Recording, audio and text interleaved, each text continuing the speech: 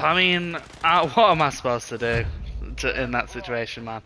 I'm 26 years old, man. I, I'm not fucking playing the game that hard.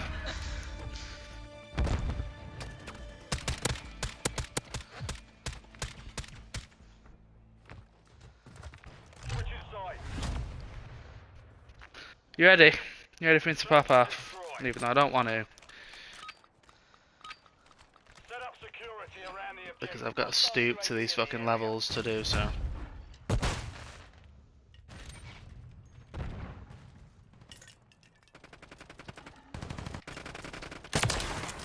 I, I've just pixel peeked someone.